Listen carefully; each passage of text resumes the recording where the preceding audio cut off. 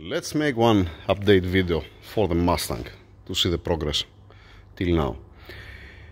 Today is Saturday, April 2nd. so, I received the bracket, let me turn on the light. I have received the bracket, it's been painted. The spacer here, painted. Uh, I have put the power steering pump to align it. If I torque it down if I torque down this one it's gonna be aligned properly. This is just for me to measure it and fix proper spacers because this with the washers obviously it's not it's not right it's not good and there is plenty of space let us say here. I'm gonna fix that I'm not gonna leave it like that obviously. Uh, now I'm looking for the belts. I'm looking to find the correct dimensions belts. This is the this is the correct one that's the correct one and now I'm waiting another one here they brought me shorter okay the radiator fan installed with a spacer. One small difference the radiator I trim I cut the, the, the this piece here because the radiator was sitting much more in. It was sitting approximately two fingers if you like three centimeters more front so by sitting front, more front than the condenser, you're gonna have too much space between the condenser and the radiator. You don't, you don't want that. You're not gonna be efficient, let us say. Uh, and then you're not gonna have a clearance here from the fan. I would like the fan shroud this one, I would like to be a bit more thick, more wide, and don't have this opening here, but that's what it is. So I cannot change that. I replace this that's located there at this point and I crimp uh, threads over there. It's much better more clean than to having this one. And because of this when you insert inside it was touching the radiator. So I didn't have, I have a problem also with the clearance. That's one of the reason. Okay. I put the spark plug wire. Again I, I, have, uh, I still haven't uh, clocked the rotor inside. I have to bring uh, top dead center number one cylinder. The coolant temperature sensor I install it back in place. Okay. The breather. I open the um, uh, the path that has here the, um, the filter the air filter housing to put the breather. This was missing from before and I put a silicone hose inside and I did it with this way this is just only breather. It does have a pressure or vacuum or something there. It has slightly vacuum if you like. Yeah. What else? What else I did? The radiator fan I put it before. I think I saw you on the previous video how it looks like. I put the coolant expansion tank, tank down here. Uh, this, it, you don't have to tight it too much. You need to leave it a little bit open, let us say, to breathe. Why is that? Because if it comes coolant, if you if you block it completely, if you tight it, if you tight the coolant expansion tank fully, it will not gonna uh, bleed the air from inside. So it can come like a balloon and it can crack if it starts dumping coolant inside, for example.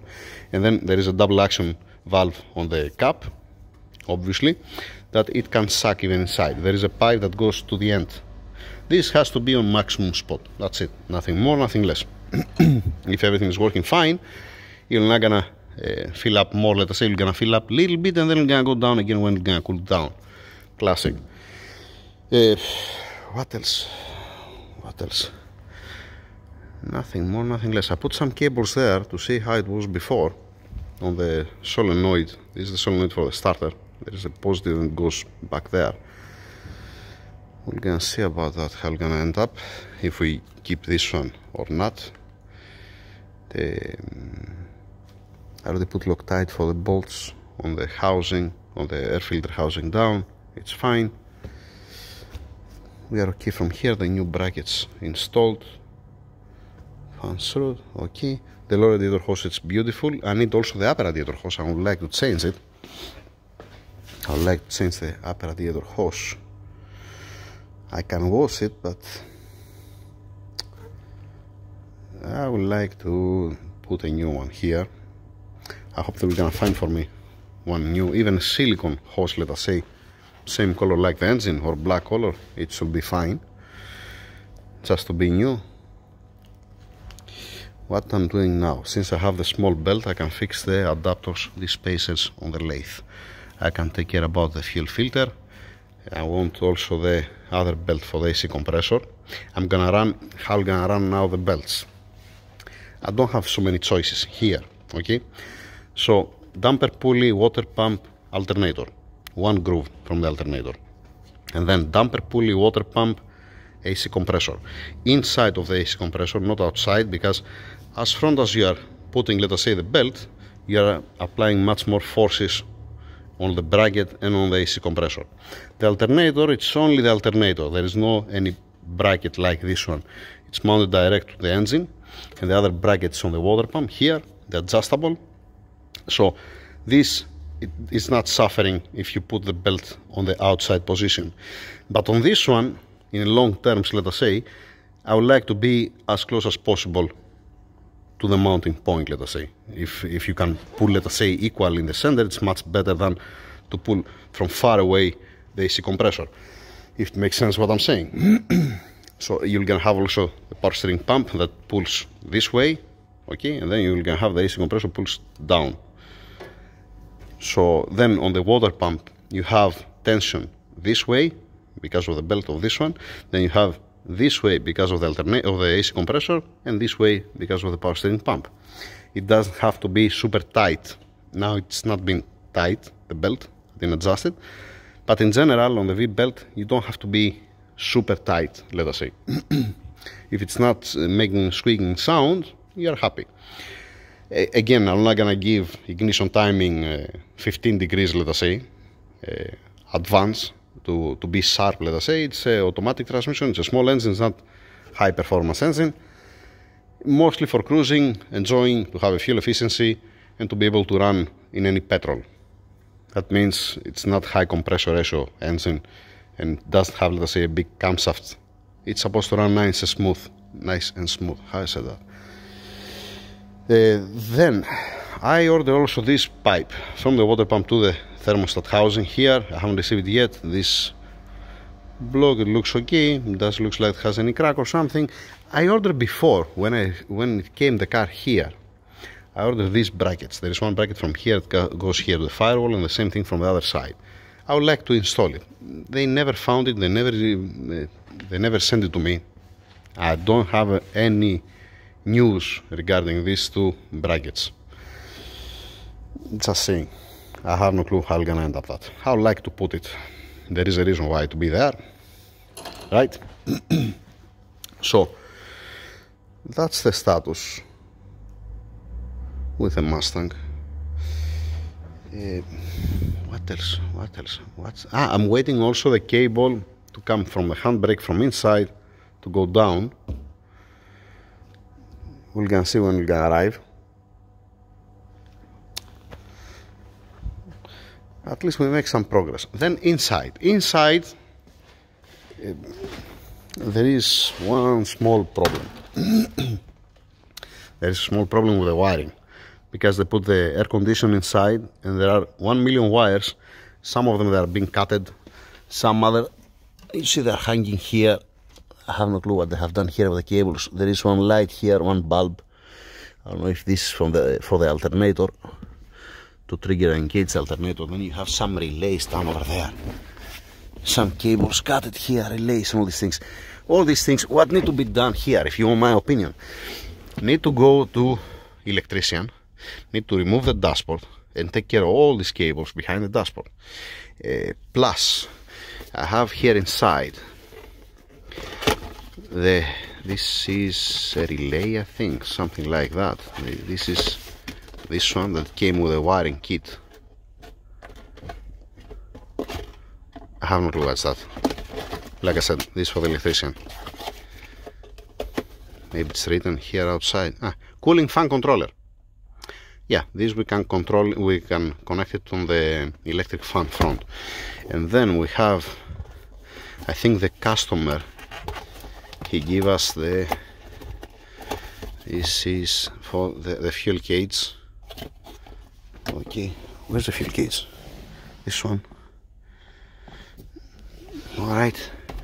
And this supposed to be what's that? this temperature. Temperature gauge. It's is the big one. It's too big to be a temperature gauge.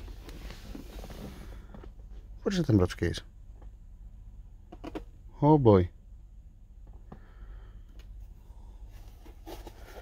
There is a temperature cage in Fahrenheit and it's an aftermarket cage and it's this one. But it doesn't have the space to put there so big gauge like this one.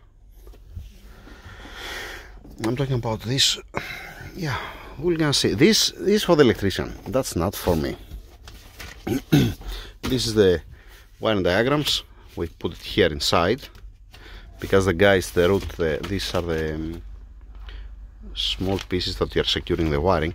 We put here inside for the electrician to double check also the job what they did the guys uh, how they route the, the, cables and if it's everything's fine. Some other uh, papers here. Stuff like that even the wiring for the speakers back it's not ideal we have one rubber there. I don't know what's that.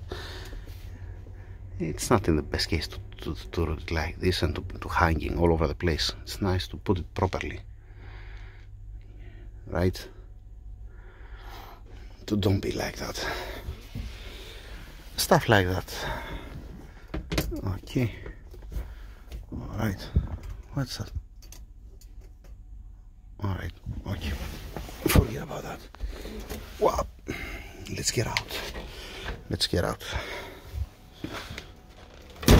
One second because I move now the leg.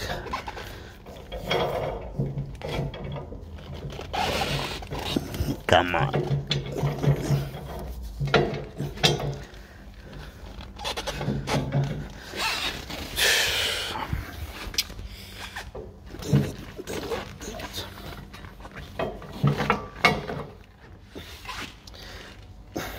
And I need both hands. Let me secure this one. Don't have any headache. Okay, uh, from down nothing changed. There is no. Wow. I just secure in couple of spots the wiring, but I have to remove again the bolts what they're using, and I would like to use down on the floor the threaded piece like this sleeve, not M6, M4 little bit smaller uh, because it's gonna be too much if you like to support the cables. I'm talking about the pipes and the cables and the, the, the pipes and the, um, the, the brake lines and the fuel lines. I'm talking about this on this the system that you have bolt that's bolted on the body. And because there are big holes down not not that much big hole to, to engage this bolt I like to make it nice and put let us say this kind of bolts like this one. Allen with a with this small sleeve and the threads to be nice. Yep yep that's it. That's it. Anything else? Ah another one thing that I saw. Uh, we ordered spark plugs I ordered spark plugs and I received I checked it yesterday. How many spark plugs I received? Six spark plugs I don't know why. It's a V8. It's not a V6. I don't know what's the reason why they, sent me only six spark plugs. We're gonna see. I'm gonna give to the driver one spark plug as a sample to bring another two. Fan need to be connected, but we have also the controller for the fan. The wire it's long enough, beautiful, excellent. It's been secured, nice straight. Right it's not touching anywhere. The blades. Looking good looking good. So that's the update for the Mustang. For any news okay what I'm gonna do let's say when they will gonna bring me the belt. I'm gonna install the show the belt for the AC compressor. I'm gonna uh, adjust it to have some tension. Now it's free the AC compressor. Same thing for the alternator from that side to finalize this. And then like I said I have to fix now the spaces for the power steering pump to don't have a washers there. And continue with whatever parts I have. Securing the lines down. Again uh, I'm waiting for the handbrake cable. Some pipes here for the power steering pump. It has to be rerouted or replaced let us say this is the return that goes to the tank but this pipe okay it's a hydraulic pipe but it's very near to the headers I might bring a little bit more high to change it, let's say to remove it from there and bring it a little bit more up to be far away from the headers since I didn't see any cooler for the power steering pump you don't warm, you don't want to warm up the fluid the hydraulic fluid more same thing for the pressure. Maybe I have to make it 90 degrees and to reroute it down to be far away from the headers because the, the high pressure here looks like goes we're gonna see when comes the time when when comes the time. Maybe we're gonna be okay. This not that's not a big deal from this point of view. Fuel filter I said. Yeah yeah yeah yeah. The ground I don't know if you're gonna be grounded here or in all of the grounds because I saw also one ground was on a painted surface. This ground it was here. Here I'm gonna have a contact obviously. And there was another ground somewhere. I saw it. You have to scratch the surface let us say to find a bare metal to touch the the ground and then you have to put some paint or something to insulate it don't come rusty the body to protect it. Again here in this country it's not so much critical. It's not does have a rain does have a salt. It's better let us say. It's difficult to come rust. But again to protect it. Upper radiator hose yeah the small hose for the water pump same thing. Fuel line it's nice beautiful there's no problem at all breather it's gonna be fine. It will gonna be fine. That's it. That's it. Have a nice weekend